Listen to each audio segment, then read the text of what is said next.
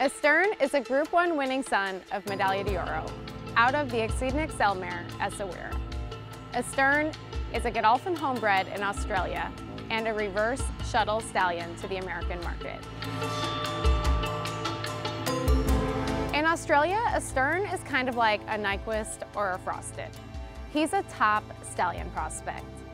He's by the right sire in Medaglia d'Oro. He has great two-year-old form. He's a Group 1 winning three-year-old. He has a huge pedigree and he's a great physical. In Australia, Astern stands for just under Australia $40,000. So that kind of gives you an idea of his position in the market there. Astern is not only a Group 1 winning son of Medaglia d'Oro, he is Medaglia d'Oro's top rated son on Timeform with a Timeform rating of 126. But what does that mean?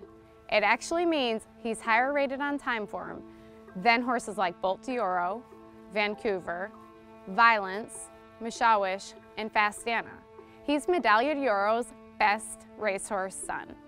Did you know that Astern has one of the best pedigrees of any stallion on the Darley America roster?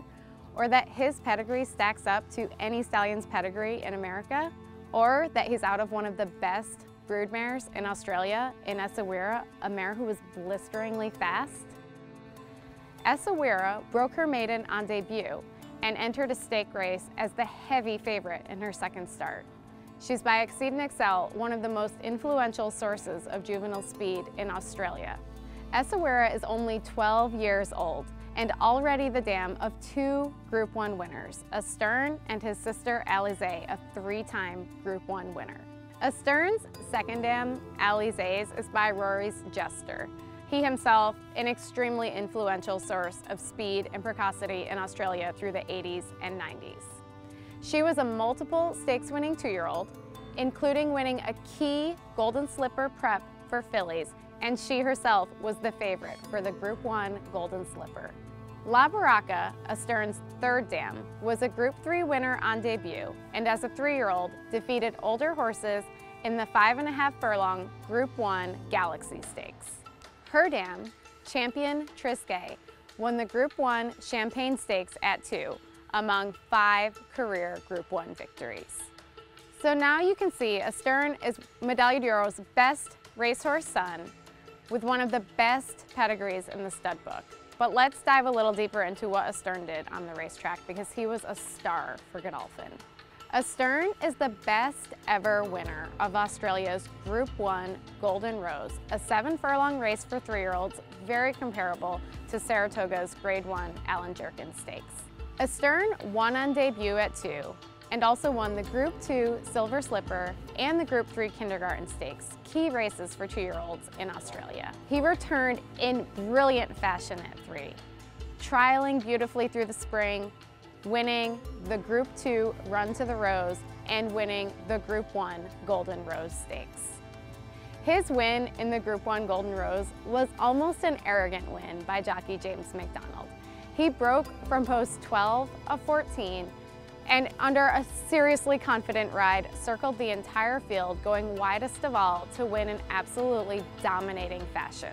Here comes the favourite Astern, and the colt is letting rip with a big run. Astern heads off Yankee Rose, then came Good Standing and pending into the clear, but Astern a big winner in the Golden Rose. So now you have Medaglia d'Oro's best son in the world, combined with a pedigree that is absolutely saturated with speed and precocity. And as an American breeder, you have to ask yourself, which stallion am I gonna try to catch on the bubble?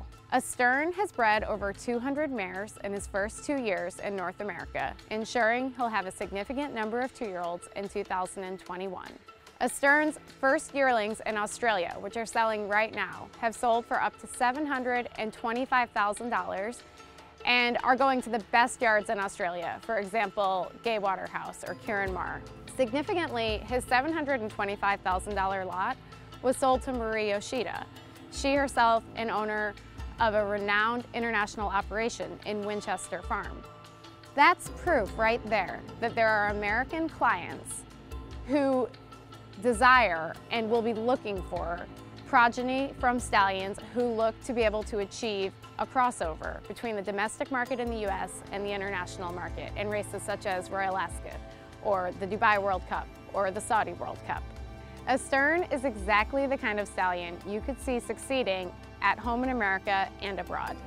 When I try to think about the stallions who will have first two-year-olds in 2021 and who might be precocious enough to have a winner at Keeneland or a two-year-old that's good enough to go to Royal Ascot and maybe win a race there, I can't leave Astern out of the picture. He's bred enough mares owned by the right breeders. He's a genetic masterpiece and he also happens to be Medaglia d'Oro's best racehorse son. Come out to Darley and see Astern. I promise you'll be glad you did.